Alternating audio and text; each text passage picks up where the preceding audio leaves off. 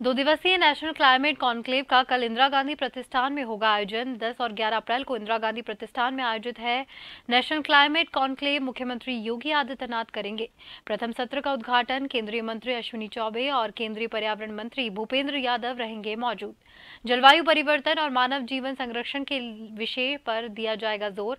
जलवायु संतुलन और जलवायु परिवर्तन के बीच मानव जीवन के विषय पर दो दिवसीय कार्यक्रम 10 अप्रैल और 11 अप्रैल को इंदिरा गांधी प्रतिष्ठान में आयोजित होगा। दो दिवसीय कार्यक्रम, वन मंत्री अरुण सक्सेना ने प्रेस कॉन्फ्रेंस कर जानकारी दी।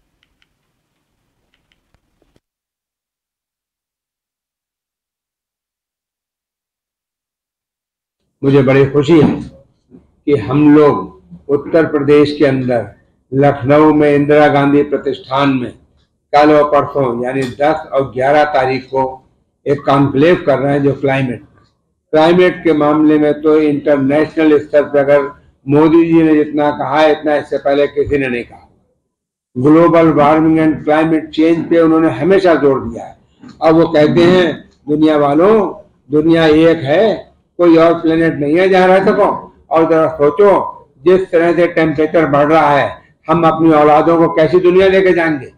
तो उन्होंने जो साफ़ साफ़ कहा है कि ग्लोबल वार्मिंग से क्लाइमेट चेंज बहुत ज़्यादा हो रहा है और ये ग्लोबल वार्मिंग